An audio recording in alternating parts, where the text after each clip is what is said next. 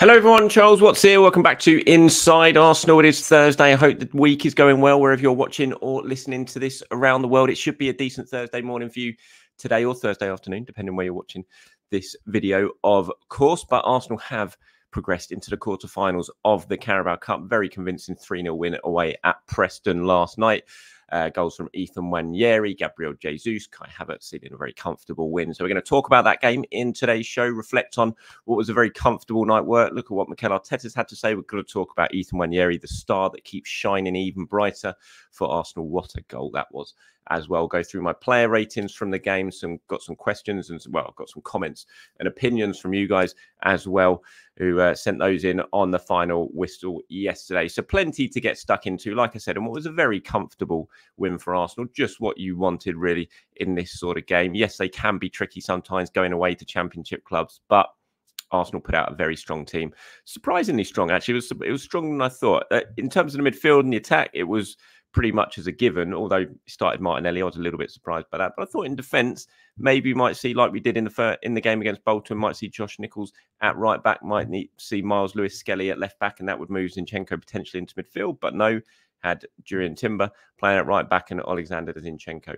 playing at left back alongside William Saliba and Jakub Kiwior. Tommy Setford, of course, got his start in goal. So a little bit stronger starting 11 than I was expecting. But I'm glad Mikel's taking this competition seriously. As I've said before, I want Arsenal to go on and win this competition. Um, cup competitions have not been good enough in the last few years. That needs to change. So I'm glad he's taking it seriously. Uh, and they got the result that they wanted. It was a comfortable first half.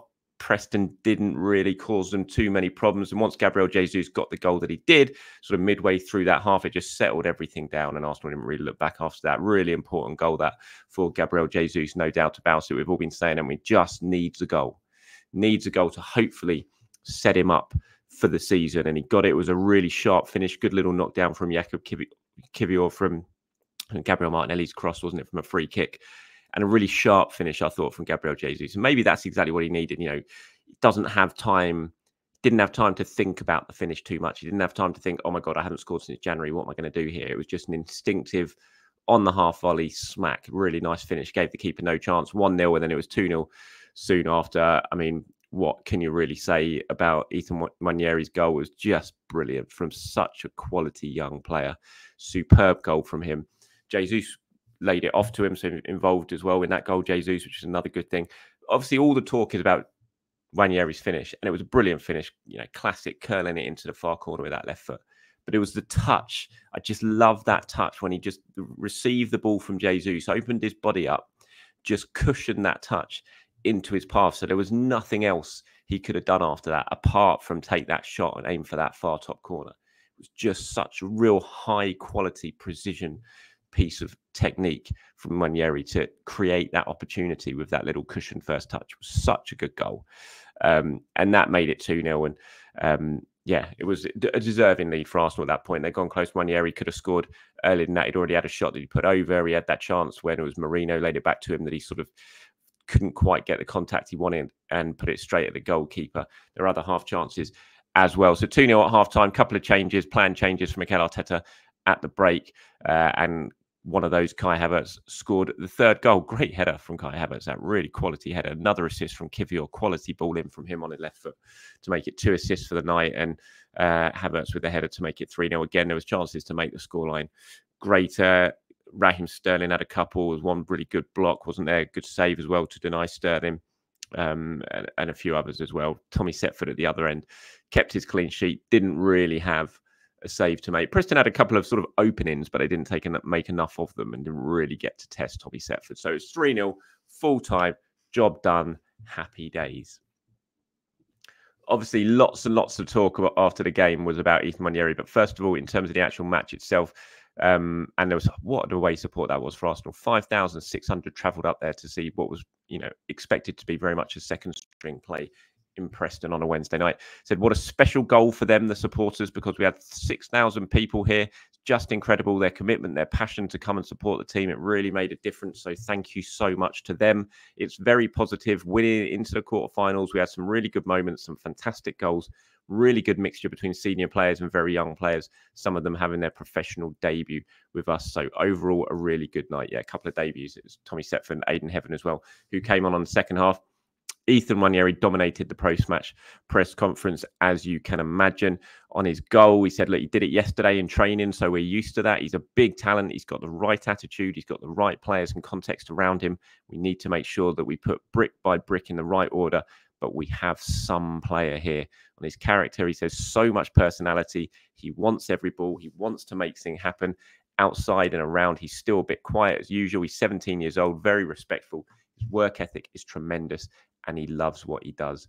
You can tell that, and he is just a special player. If Mikel, if Mikel was hoping that the um, sort of clamour for Ethan to get more minutes was going to go away as the season went on, I think he's very much mistaken because every time he's going to get his opportunity, I feel like he's going to thrust his hand up in the air even more to demand more minutes because he is just a really special player. I've said it this season. He's ready to play and start in the Premier League. I've been a bit disappointed he hasn't started in some of these Premier League games where Martin Odegaard's been out. And he just looks ready. Yes, again, last night it was against championship opposition, like in the first round. It was against Bolton, League One opposition. So it's very, very different to playing really, you know, top quality, high end Premier League sides. But he's got something about him. You can see he is just as Mikel said, we have got some player here, and he is some player. And I just he's going to get more minutes as the season goes on. I'm sure of it. You can't keep well, not can't keep ignoring because he's not ignoring him. He's giving him minutes. He's playing games this season. He's played more games than I expected at the start of the season, put it that way. But he's certainly got the quality to be playing even more than that. And I mean, he's a record breaker now as well. He's the youngest player to score for Arsenal in each of his first two starts 17 years, 223 days. And again, yes, they were in the League Cup, but still, no one in Arsenal's history has done that before. And that shows the, the kind of level that he's now operating. He's Arsenal's third top scorer this season now, I think, after that goal yesterday, behind Havertz and, and Bukayo Saka.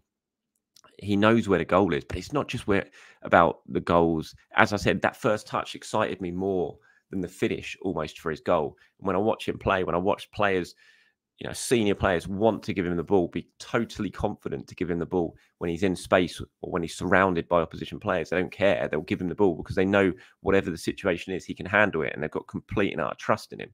When you see that, you know there's a really special kid who is just there waiting to be unleashed. And it'll be really interesting. I'm look, uh, he's not going to start at Newcastle at the weekend. I'm absolutely convinced of that. There's an argument again to say, well, why not? He should be, but he won't. I'm sure uh, uh, Mikel will go back to the sort of midfield. top. You know, Declan Rice will come back in. We'll have Merino in midfield again. Um, wait and see what happens with Thomas Partey in terms of where he he plays. You'd imagine he'll go into midfield as Jurrien Timbers back at right back on Saturday. So Ethan's going to have to make do to place on the bench again. But as the season progresses, he's going to get more minutes. There's no doubt about it. And it's just a really exciting talent to have on our hands. You know, when you look back to some of the 17 year olds we've seen come through before, Jack Wilshere, um, Cesc, obviously, you know, it looks like, and he's got a long way to go, of course, but it looks like he has that sort of, he is that sort of level where at 17 he can come into the team and just look perfectly at home. And it's really, really exciting. And um, yeah, delighted for him again last night.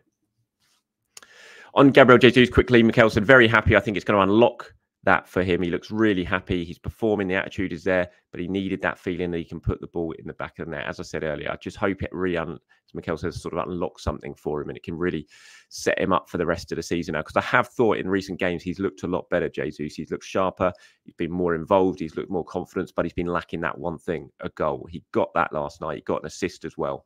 And you just hope it can be what Arsenal really need from him because I've said it so many times. If Arsenal are going to do anything this season, they are going to mm-hmm. need Gabriel Jesus to contribute and contribute heavily. You can't just rely basically on Kai Havertz as that striker. You need someone else.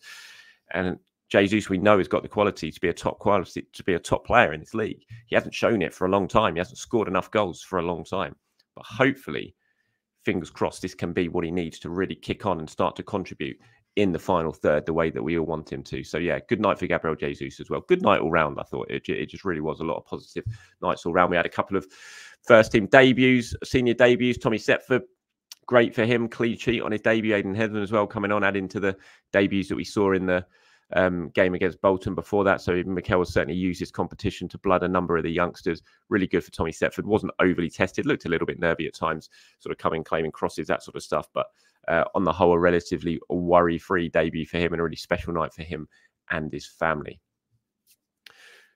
there has been a little bit of concern at the halftime subs. Is somewhere you know of, of, these players carrying injured. Mikel said it was all planned. So obviously, Jurrien Timber went off, Merino went off, Martinelli also went off in the second half. But those halftime subs of Merino and Jurrien Timber, Mikel said afterwards, if you didn't know already, that they were planned. As he says there, you can see the quote if you're watching on YouTube. Says that was planned. We had a lot of issues in the back line. We wanted to share the minutes because we lost Gabby, we lost Ben as well on top of the other players to make sure we wanted to be competitive, make sure that um, as well that we protect players because we have a lot of games coming up now. I'm not sure yet what's going on, what the deal is with Ben White. Maybe find out a little bit more at the press conference tomorrow ahead of Newcastle game in terms of why he's not around. Um, but you know, Jurrien Timber, 45 minutes. Thomas Partey came on for the second half. Uh, got a comment actually a little bit later on. We'll talk about that. I was a bit surprised maybe Thomas Partey came on for that second half. Did he really need to? You had Josh Nichols there, but obviously we know sometimes Mikel likes to go stronger than we all uh, expect him to in some of these games. Player ratings wise, this is what I've given for them. So Setford, I gave a six. As I said, did nothing wrong really. Looked a little bit nervy at times, but on the whole, a decent first start for him. Gave him a six. Timber and Saliba, I gave sevens. Zinchenko, I gave seven. I thought Zinchenko played quite well, actually. He sort of moved the ball around. He was heavily involved, as you would expect. Him and Jorginho combining in that sort of deeper midfield area pretty well um, making Arsenal tick, I thought. So I gave him a seven. Kiwior gave an eight, two assists for Kiwior as well. So, you know, really good night for him. Excellent ball in for Kai Havertz. I thought whipped that in with a lot of authority. Jorginho gave a seven, um, sort of ran that midfield, obviously against a relatively limited opposition in terms of quality, but still ran ran the midfield, especially in the first half. So gave him a seven. Nwaneri gave a nine, man of the match. Had to be really for that goal and just his general all round play. Merino gave a six, played all right. Merino in that first half almost got an assist for Ethan. Um, didn't misplace a pass. Um, Merino, I think it was 26 passes out of 26 he made. Ethan only misplaced one pass all game. He ended with a 98.6% pass completion rate, something like that. Out of 56 passes, he misplaced one. Again, just shows how comfortable he is in possession. So again, Merino six, Martinelli a seven, Sterling a seven, Jesus an eight. Sterling, bit hit and miss did cause them problems though. He always does like to run at the run at defenders. He always causes them problems. But again, that sort of final third, that last action, maybe a little bit lacking. But I gave him a seven. Subs who came on, Kai Havertz obviously came on, scored his goal. He played 45 minutes. Thomas Partey as well. Um, Lewis Skelly, Heaven, Saka coming on sort of during the second half. But out of those, you know, I thought Kai Havertz took his goal really, really well. Lovely header, that proper strikers head of that. So fair play to him. So those were my player ratings. Nwaneri man of the match for me. Setford six, Timber seven, Saliba seven, Kiwior eight, Zinchenko seven, Jorginho seven, Nwaneri, Nwaneri, sorry, nine, Merino six, Sterling seven, Martinelli seven, Jesus eight. And there's a draw if you haven't seen it already. Not a bad draw for Arsenal in the quarterfinals at home to Crystal Palace. Not Tottenham obviously knocking Man City out yesterday. Uh, 2 1 at the Tottenham Hotspur Stadium. United under Ruud van Nistelrooy. Um, 5 2, they beat Leicester. So they've got a game at Tottenham in the next round. Looks like Ruben Amorim will be in for that one. Newcastle, Brentford, and Southampton, Liverpool. Good win for Liverpool at Brighton yesterday. So decent draw for Arsenal. Yes, it's an all Premier League draw, so there's no easy games left in this competition from this point onwards. You wouldn't think there would be from the quarter-finals, but a home draw against Crystal Palace, decent draw means Arsenal do not travel out of London. I think the entirety of December, so not have to worry too much about travel issues in that one. And it's a really good opportunity for Arsenal to book their spot in the semi finals. And you imagine looking at those teams who are left, they'll be coming up against a difficult team in that semi final. But one of Spurs and Man United are going to be going out. Um, and you'd imagine they're probably, I was going to say Newcastle will go through. I'm not sure. Brentford's such a good team nowadays. Imagine Liverpool certainly book their spot in the semi finals. But decent draw for Arsenal, give themselves a really good shot of trying to get themselves to Wembley. Moving on to a couple of comments from you guys before we wrap this one up. Then Theo says, Hi, Charles. Regarding positivity and as a comment on the Preston match, in spite of all the terrible injuries this year, we have a second team who would start in most top flight clubs Jesus, Sterling, Nwaneri, Zinchenko, MLS, Jorginho, Kiwior, and Tierney, not to mention players like Tomiyasu, who may have to fight for a spot in the starting 11 when healthy. This journey will be better for nights like tonight when non starting 11 players put in a tremendous shift, get the job done, can feel needed, an important part of the team.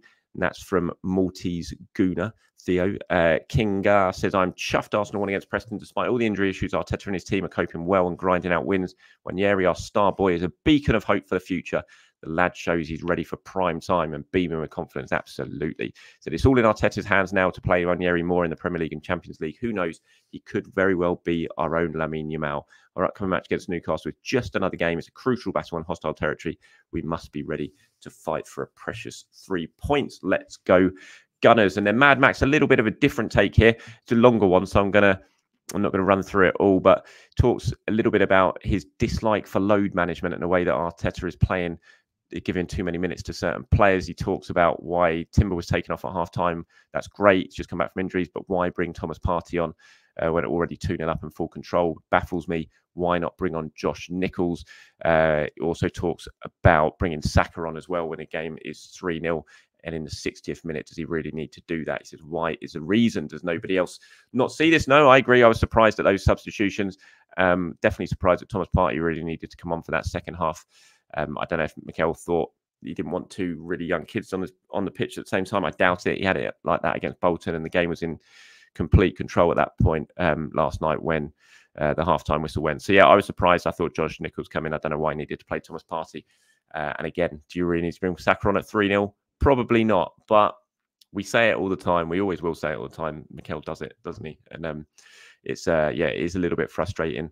And you're not the only one who sees this. You're definitely not the only one who sees this, Mad Max. So thank you very much, everyone, for your comments. Appreciate that. Enjoy the rest of your Thursday. Um, not sure exactly what's going on at the moment. I think I'm going to be recording Inside Arsenal Extra Time a little bit later on today with James Benge. I think that's going to go out tomorrow morning, though, in place of my usual show because I've got some stuff going on, half time stuff going on, which means I'm basically out of the house all day tomorrow. Uh, also, hopefully, got a very special recording going out with someone a little bit later on today as well. That might be published later on tonight. Again, have to wait and see, but keep your eyes peeled for that as well. So, a couple of things coming up. Uh, if you do want to get involved in Inside Arsenal Extra Time and send in some questions for us, and you know the usual drill, extra time at the top, leave your question, your comment, your opinion and we'll pull it together and discuss it in the show. Again, it's like 90% chance we're filming that later on today. If not, apologies, but hopefully we will. And that'll be going out first thing tomorrow morning. Right, that's it from me, everyone. Thank you very much for your time, for watching, and for listening. As always, have a great day. Speak to you soon. Bye bye.